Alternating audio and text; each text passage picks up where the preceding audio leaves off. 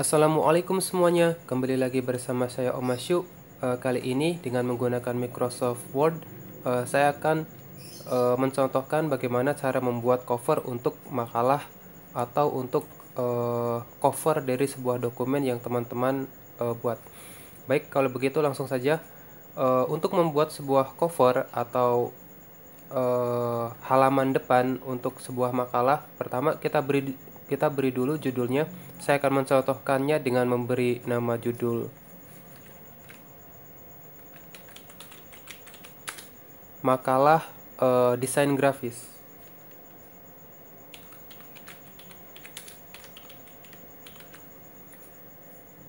Kita beri Photoshop. Nah, seperti ini tidak apa-apa, biarkan saja. Kemudian uh, pada bagian tengahnya uh, biasanya uh, kita akan menggunakan pola biasanya ada yang bergaris ada yang gambar. Kali ini saya akan uh, membuat beberapa contoh. Jadi teman-teman nanti bisa uh, memilih mana yang lebih baik dan uh, bisa digunakan sebagai cover untuk makalah teman-teman. Pertama uh, untuk tulisannya kita biarkan saja dulu seperti ini. Kita bikin polanya dulu untuk gambar yang ada di tengah. Kita klik insert kemudian kita pilih shape. Selanjutnya kita pilih line. Kita klik. Nah di sini teman-teman bisa membuat sebuah garis. Kita tarik ke bawah. Saya akan memperkecil gambarnya.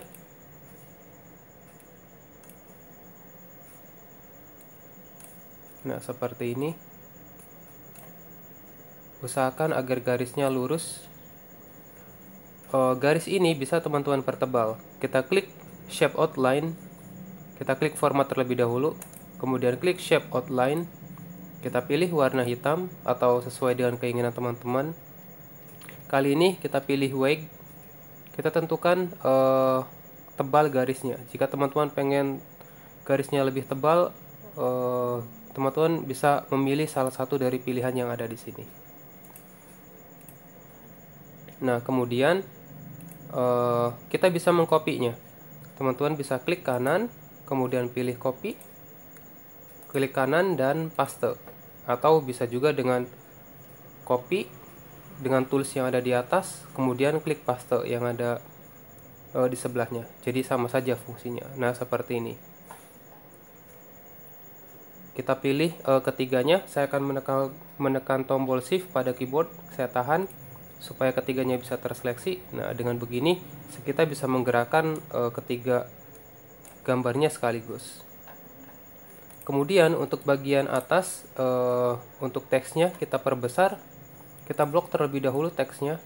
Kemudian kita tekan grow font atau teman-teman bisa menentukan e, besar teksnya dengan mengisi poin yang ada pada kotak ini. Saya akan masukkan 20 kita enter. Nah dengan begini teksnya akan menjadi lebih besar. Tapi jika dirasa masih belum cukup kita perbesar lagi. Sesuai dengan keinginan teman-teman. Teman-teman bisa membuatnya menjadi bold tebal. Kemudian kita tengahkan kita klik center. Nah dengan begini uh, judulnya sudah berada di tengah Kemudian kalau teman-teman e, merasa saya pengen merubah tipe teksnya e, menjadi e, misalkan comic sense, tentu saja teman-teman bisa memilih tipe teks yang lain kalau mau karena Microsoft Word tentu saja sudah memberikan fasilitas berbagai macam jenis teks yang bisa digunakan sebagai referensi dalam pembuatan berbagai macam dokumen. Kita blok terlebih dahulu. Nah, seperti ini contohnya. Kita blok lagi. Kemudian, eh, jika dirasa garisnya terlalu ke bawah, kita bisa menggesernya. Kita gunakan delete untuk menghilangkan spasi yang ada pada bagian bawah kita akan coba kurangi dulu eh, panjang dari garisnya karena saya rasa garisnya terlalu panjang. Kita kurangi secara bersamaan.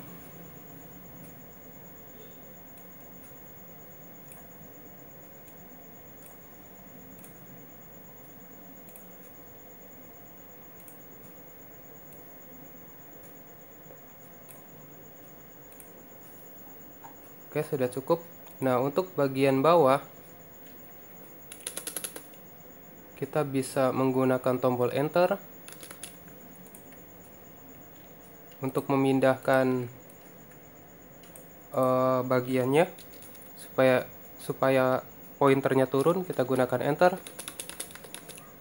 Nah jika sudah cukup teman-teman bisa klik uh, center lagi supaya teksnya berada di tengah. Di sini kita bisa memberikan nama saya akan coba uh, zoom dulu. Nah seperti ini. Misalkan nama kelompok kita beri titik dua. Kemudian uh, kalau menggunakan nama kelompok misalkan uh, ada dua atau tiga orang atau lebih saya sarankan untuk menggunakan uh, aligennya tidak menggunakan aligen center. Saya akan coba pindahkan dulu seperti ini. Jadi saya akan masukkan satu. Kita beri nama dengan Ali. Nomor 2 nya Dodo. Dan yang ketiga misalkan Edi. Nah kalau teman-teman menggunakan uh, angka sebagai penomorannya e, maka saya sarankan untuk tidak menaruhnya center seperti ini karena nanti e, akan terlihat berantakan. Tapi teman-teman bisa teman-teman bisa apa namanya memblok semuanya semua nama ini. Kemudian kita gunakan rule yang ada di atas untuk menggesernya sehingga mereka e, berpindah ke arah tengah. Seperti ini saya contohkan. Nah seperti ini jadi alangkah lebih baik kalau menggunakan penomoran tidak dengan uh, Allegiant center sehingga nanti kalau menggunakan center tulisannya akan beraturan. Untuk bagian bawahnya teman-teman bisa memberi alamat misalkan uh, nama sekolah atau nama alamat atau mungkin keterangan uh, yang lainnya seperti ini.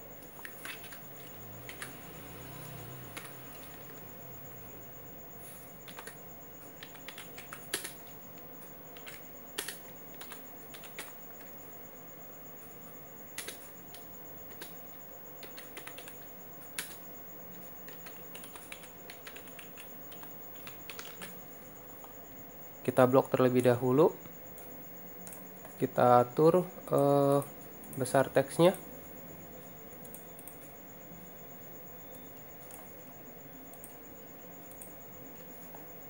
Nampaknya turun ke bawah tidak apa-apa kita biarkan. Kita bikin center. Nah satu yang saya lupa uh, dalam pembuatan cover ini uh, terutama yang harus kita setting uh, selanjutnya adalah uh, tipe kertasnya. Jadi teman-teman ketika membuat sebuah cover yang akan digunakan untuk makalah kita harus menentukan jenis kertasnya. Uh, di Indonesia sendiri biasanya uh, untuk tipe kertas ada dua macam. Ada A4 dan F4 nah dengan begini dengan kertas A4 yang sering kita gunakan uh, ketika kita klik maka ukurannya akan bisa langsung uh, sedikit menambah lebih panjang. Tapi kalau teman-teman menggunakan F4 biasanya uh, ketika disetting dengan menggunakan settingan legal. Nah kesalahannya adalah pada settingan legal padahal kertas yang dipakai adalah F4 legal itu memiliki panjang 35 cm, padahal kertas F4 hanya memiliki panjang sekitar 33 cm. Jadi di sini harus dikurangi terlebih dahulu. Kita masukkan 33, kemudian oke. Okay. Nah, ini adalah panjang dari uh, kertas F4. Nah, itu adalah contoh pertama kita untuk uh, cover makalah yang pertama. Saya akan membuat satu lagi kita klik file saya akan membuat uh, new. Nah seperti ini.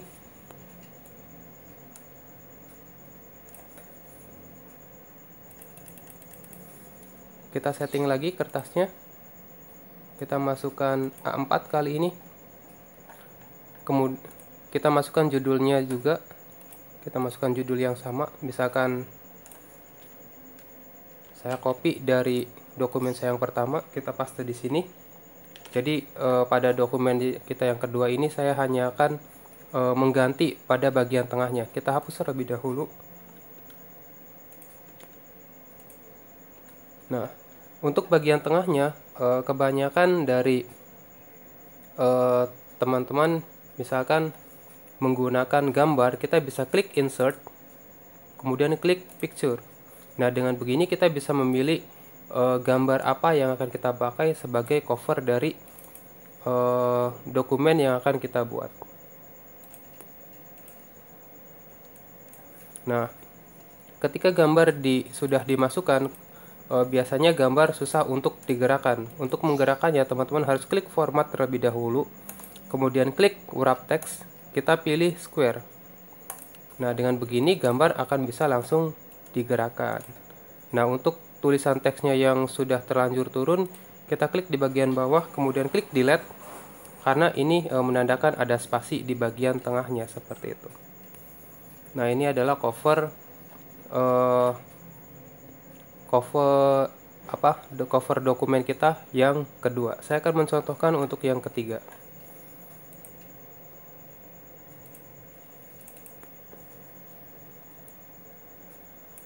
Kita paste kali ini saya juga akan menghapus pada bagian tengahnya.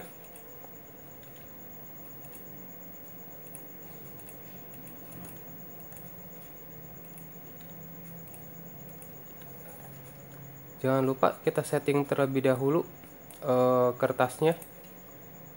Kita klik page layout. Kali ini saya akan memasukkan kertas F4 kita klik legal. Kemudian kita ubah ukuran kertasnya menjadi 33 cm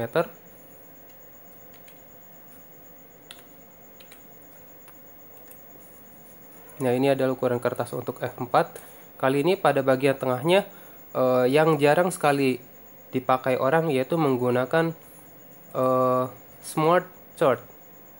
Smart art maksud saya.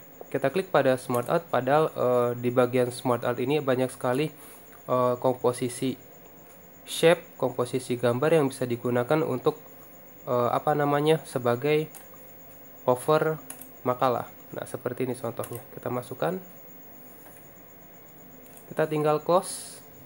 Nah ini adalah uh, tipe dari salah satu smart art di mana teman-teman covernya cover untuk halamannya e, bisa sedikit lebih e, lebih dinamis di mana nanti kalau teman-teman pengen memberi sebuah teks di sini tentu saja bisa misalkan ini Photoshop kemudian di atasnya kita beri nama Corel Draw ada Adobe Illustrator misalkan dan lain sebagainya.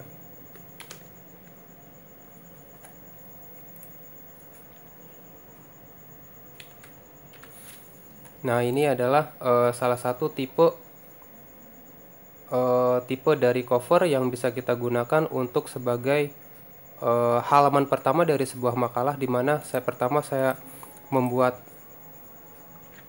uh, maaf ada yang hilang nampaknya gambarnya. kita perbesar. Oh ini. Ini adalah cover halaman kita yang pertama dan ini cover halaman kita mengguna uh, yang kedua dengan menggunakan picture dan yang ketiga ini adalah cover uh, untuk makalah kita yang ketiga dengan menggunakan uh, smart art baik itu saja video dari saya untuk sekarang ini Terima kasih sudah menyaksikan. Assalamualaikum.